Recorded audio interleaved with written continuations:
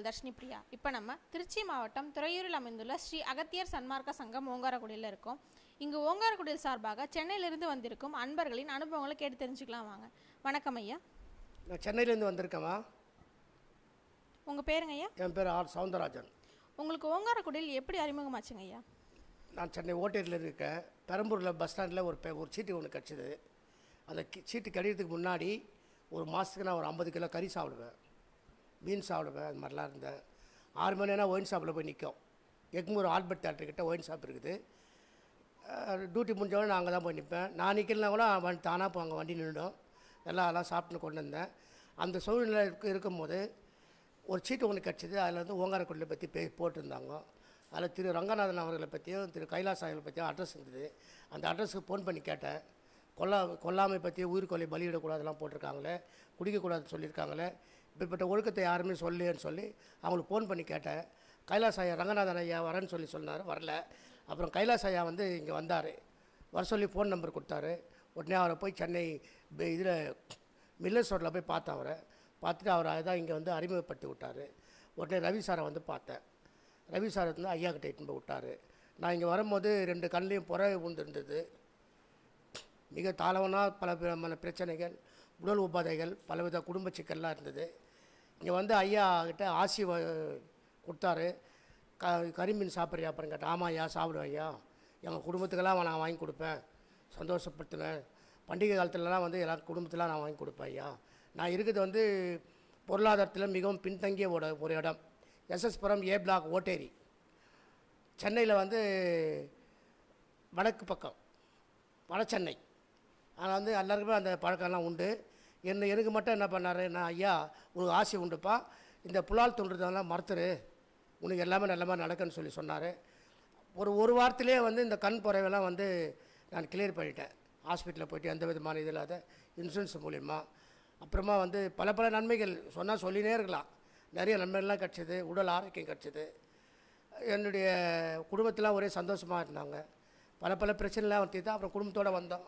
என் பையனுக்கு நாலு வருஷமாக குழந்தை இல்லை. போகிற இடத்துலலாம் வந்து ரெட்சனை வந்து குழந்தை இல்லையா குழந்தை இல்லைன்னு சொல்லி என்ன கேட்பாங்க. என் பையனையும் கேட்பாங்க. என் பையன் வந்து வீட்டில் வந்து பீரோ ஓடிப்பான் கட்டில் ஓடிப்பான் டிவி தூக்கி போட்டு ஓடிப்பான். அது மாதிரிலாம் பிரச்சனை பண்ணியிருந்தான். ஏன்னு கேட்டினா போகிற இடத்துல என்ன இந்த மாதிரி கேட்குறாங்களே என்னப்பா அதுன்னு சொல்லி கேட்டான். சரி நான் ஐயா கிட்ட தொடர்பில் இருக்கேன். வா போகலான்னு சொல்லி நான் அவனை இட்டுன்னு வந்தேன். இட்டுன்னு வந்து ஐயா கிட்ட வந்து எங்கள் ஒய்ஃபு என் பையன் பொஞ்சம் எல்லாம் வந்து பார்த்தோம். பார்த்துக்கு உனக்கு ஆசை உண்டுமா? உனக்கு ரெண்டு ஒன்று இல்லை ரெண்டு தரேன்னு சொல்லி சொன்னார்.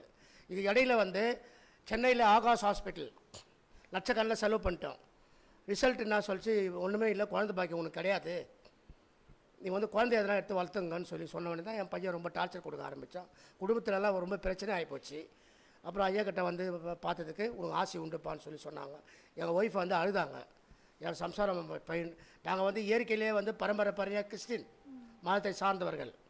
என் பேர் சவுந்தரராஜன் என் என் ஒய்ஃப் பேர் வந்து பவுலின்னு. என் பொண்ணு கிளிஸ்டாரு என் பையன் பேர் ரெட்சனு எங்கள் அம்மா பேர் அந்தோனிமா.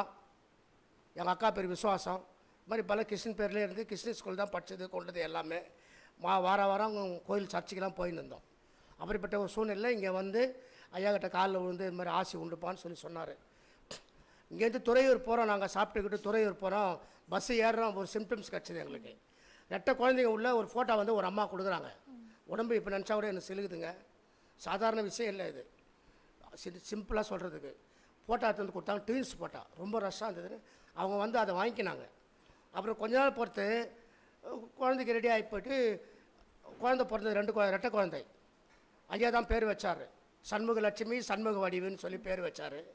அப்போ எங்கள் வீட்டில் ஒய்ப்பு சொன்னாங்க ஏங்க நம்ம நீங்கள் ஐயா கிட்ட ஆசி வாங்கி வரும்போது ட்வின்ஸ் குழந்தை பிறகுதுன்னு சொல்லி சிம்டம்ஸ் கொடுத்ததுங்க. எனக்கு தெரியாது அப்போது எனக்கு இப்போ தாங்க தெரியுது எனக்கு. அப்படின்னு சொல்லி சொன்னார்.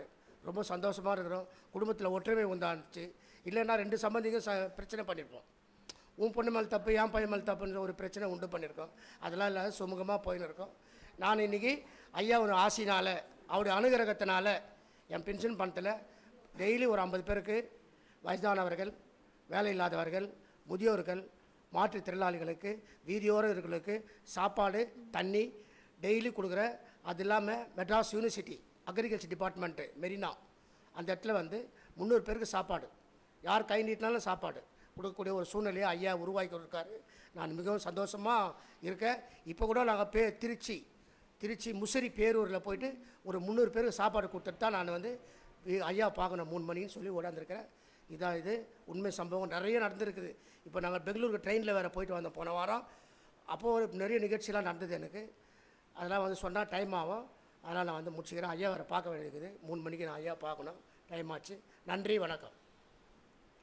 ஓங்காரக்குடியில் சார்பாக சென்னையிலிருந்து வந்திருக்கும் அன்பர் அவருடைய அனுபவத்தை மிக சிறப்பாக நம்மகிட்ட பகிர்ந்ததுக்கு அரங்கர் டிவி சார்பாக நன்றிகளை தெரிவிச்சுக்கிறோம். ரொம்ப நன்றிங்க ஐயா. சரி. வணக்கம் ஐயா.